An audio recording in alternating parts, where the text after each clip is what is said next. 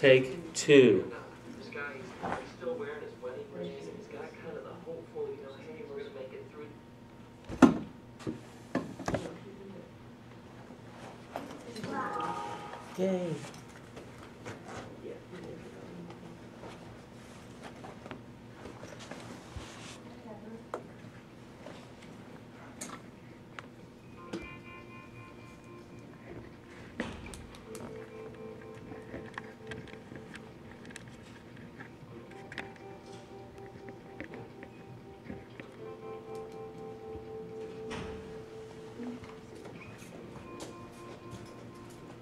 Will you shut that door, Amber?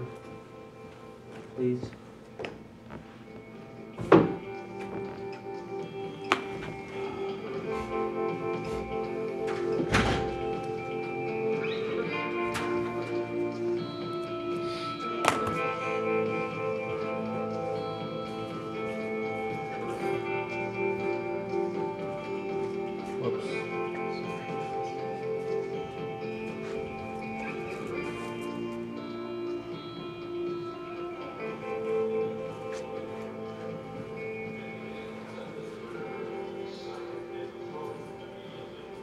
I ran into this guy that I know the other day, who's uh, his wife has left him for another man. And uh, this guy, he's, he's like still wearing his wedding ring, and he's got kind of the hopeful, you know, hey, we're gonna make it through this uh, kind of feeling, and, and he's trying to kind of convince himself that it's gonna be okay, but it doesn't look like she's coming back. And this other friend of mine, she's telling me that like uh, she doesn't really have the same kind of beliefs as her family. And every time she goes to a family reunion, she said they all just turn on her, and they said they, she's like they just get mean and, and angry, and she's it just gets ugly really fast, and she leaves in tears every time. It's like everyone I know has wounds, and some are small, kind of petty, like you know you just need to get over it. But but but a lot of people they're big and serious and deep wounds. I was talking to this girl I know the other day, this friend of mine, and partway through our conversation, she just says, she's like, you know what, I was raped. It, it's like, it's like we could speculate why all this happens and why people do these kinds of things. We could try to figure it out forever. But I think what we want, what we want is to be free from this, don't we? It's like we want to be alive and, and healthy and, and whole. I mean, I don't want what somebody else did to me to like determine what my life is going to be like. Do you? Because sometimes it's like big things and sometimes it's small things. Maybe for you it's just like a, an offhanded comment by somebody you don't even know, but maybe it was somebody that you really loved or that you still love and, and they left you. Or like maybe like just a business partner who took the money and ran, or a relative who abused you, or a friend who like turned on you. And, and it's like you try not to think about it, but but then if you're like me, it's then you end up thinking about it more than ever. And it's like we want to put this stuff behind us, but but how? Or if you ever had this happen, it's like you think you're over it, you think you're okay, you think it's in the past, and then you either run into the person or you run into something that reminds you of them and what they did to you, and then it all comes back like like worse than ever. And it's like you thought you were over it, but now you're more into it than ever, and the wound is like reopened and it hurts more than ever. And then it becomes a, a day or, or a week or 10 years later, and now it's become like a part of you.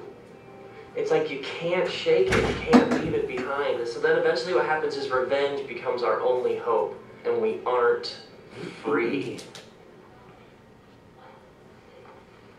Like, I don't know what you're carrying around. I don't know how painful it is or how heavy it is or how long you've been carrying it around. But my question, or I think our question, is always where was God when this happened to me? In the, in the book of Psalms, it says that God's eyes are on the nations. And the book of Proverbs in the Bible, it says that the eyes of God are everywhere. So whatever was done to you, whatever wrong was done to any of us, God saw it. It's like God was right there. In this book of Romans, chapter 12, the writer says, Don't take revenge, but leave room for God. It's like the writer says, just turn it over to God. Let God take care of it. Which is, it's like a, it's like a nice idea, but isn't very easy to do, is it?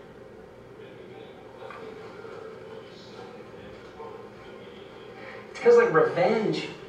Revenge is like part of our world, isn't it? We talk like this all the time. We'll say things like, you know, I'll settle the score, or I'll teach them, or they'll learn not to mess with me. I mean, we talk like this all the time. But think about revenge. Think about revenge like at the deepest spiritual levels. I mean, revenge is really saying to God, God, I don't trust you to deal with this situation. This person wronged me, and, and I can't turn it over to you because I don't know what you're going to do here. And so revenge is like saying, God, not only I don't I don't trust you, but but if I get revenge, then I can determine what happens here. I can control the situation. And and so revenge is like saying to God, I, I, I don't trust you. I actually think I can do your job better than you can. And, and some friends of mine and I the other day, we were talking about this, this idea of what revenge really is at the deepest spiritual levels and how it's just an insane way to live. And my one friend starts telling this story. He says he used to have like golf balls in the glove compartment of his car. And so he'd be driving down the road and somebody would like cut him off or do something in traffic that got him mad. So he'd pull ahead of them and then he'd pull in front of them and then he'd take the golf balls out of the glove compartment and he'd like toss them out of his sunroof, hoping that they would like dent the car that had cut him off. And we're all laughing. But but we've all done things like this, haven't we? Like completely crazy things because we were just so bent on revenge and evening the score. And it, revenge doesn't satisfy, does it? I mean, have you ever really evened the score? I mean, have you ever really gotten revenge and then and then felt good about yourself? It's because revenge doesn't work, does it?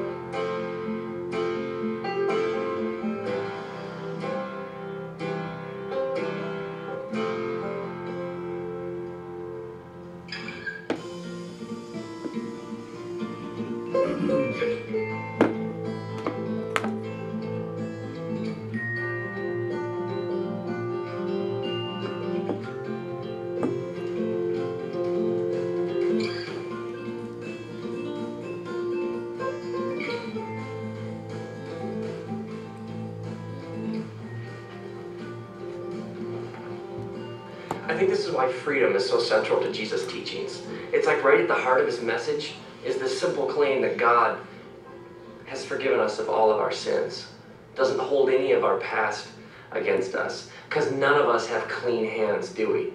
I mean, we've all wronged someone.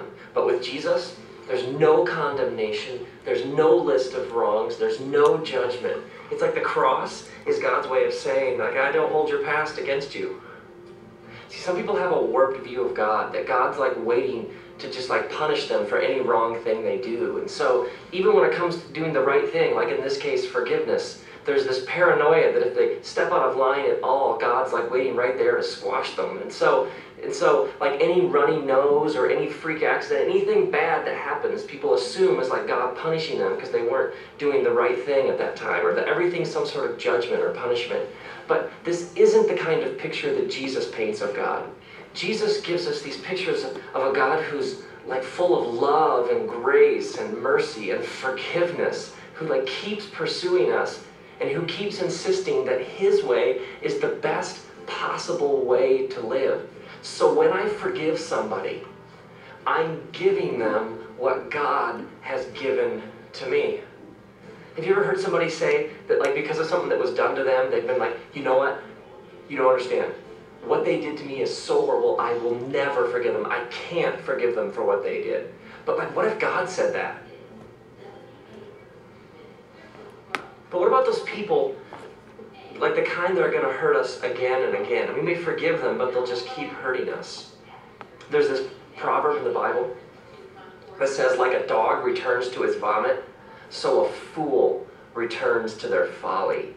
It's like some people are destructive and they're toxic and they're going to wrong us and they're going to do it over and over again. And the relationship may never go back to how it was. And so with some people, we might need to set up boundaries with them put some space. Some people, we may not even be able to be around them. Because forgiving isn't always forgetting. Like in the healthiest of relationships, somebody wrongs the other person and then they just, like they let it go and they move on and it's no big deal. But sometimes forgiving is remembering. And some people are going to keep returning to their vomit. And we don't have to be there when they do. If he's hitting you or you're being abused, you need to get out. And you need to get out now. Because some people, toxic, dangerous people, they may need to live with the consequences of what they've done. I mean, that might be how God gets their attention. And so to forgive is to, is to let it go, is to set them free, is to give up on the desire for revenge. But ultimately, to really forgive somebody, I have to actually wish them well. I, I have to hope that good comes their way. Because if I'm still unable to wish them well and wish them good, then I'm really just waiting for them to get punished, and I really, I haven't forgiven them. maybe the real point of forgiveness isn't other people. I mean, we talk about setting them free and letting it go, but, but maybe forgiveness is ultimately about me and about you. It's about us. Because when I forgive somebody and I set them free, it's, it's like I'm it's like I'm really setting myself free. It's like when I forgive them and I let them off the hook, I'm really letting myself off the hook if I'm still carrying all that stuff around, it's it's a miserable it's a miserable way to live. I mean, I don't know what you're carrying around or how long you've been carrying it around. But as we journey through life, we get hurt we get wounded and we end up carrying these debts that people owe us. We, it's like we carry them with us everywhere we go. And after a while, these bags get heavy, don't they? and, and they can end up making the journey exhausting. God didn't create you to carry that stuff around. God created you to be free, like free from bitterness, free from rage and anger and revenge, free from feeling like you're the judge of the world. I mean, what does it look like for you to just let it go? I mean, maybe you have to do something. Maybe it's a phone call or an email or some sort of face to face conversation, or maybe there's just that moment like where deep in like the very fiber of your being, you just say, I'm not gonna carry that around for one more day. And, and this might be the first step in a long process of letting it go. But we, but we need to forgive and we need to start today. We need to do it today, now. I mean, forgiving is an action, it's something you do. So may you forgive as you've been forgiven. May you give to others what's been given to you. May you set someone free and find out that it was you. And may you do it today because you might not have the chance tomorrow.